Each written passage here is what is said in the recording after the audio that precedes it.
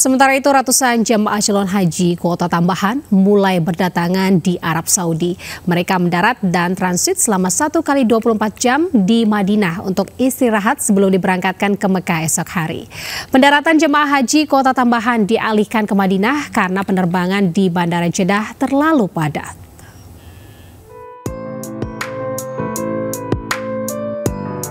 Jemaah Haji Indonesia kuota tambahan diterbangkan ke Arab Saudi melalui Bandara Internasional Amir Muhammad bin Abdul Aziz Madinah.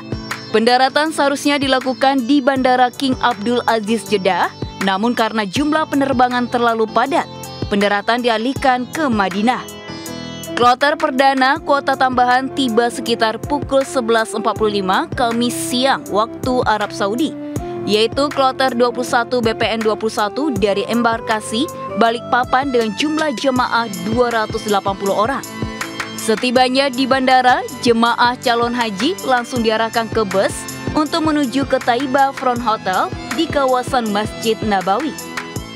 Jadi harus karena mungkin perjalanan yang agak panjang ke pesawat terbang, kemudian harus harus istirahat, harus transit terlebih dahulu. Dan kita juga sudah menyiapkan hotel transit. Nanti pada besok hari pagi hari mereka kita akan berangkatkan menuju Mekah Al Mukarramah.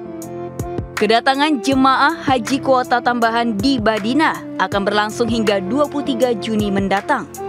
Selama transit di Madinah, petugas haji Dakar Madinah telah menyiapkan penginapan serta makanan untuk jemaah. Mulai makanan selamat datang, makan pagi, siang, malam, dan juga makan selamat jalan.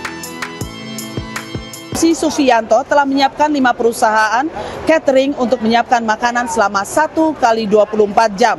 Dari Madinah, Arab Saudi, Dewi Murtiningrum, iNews melaporkan.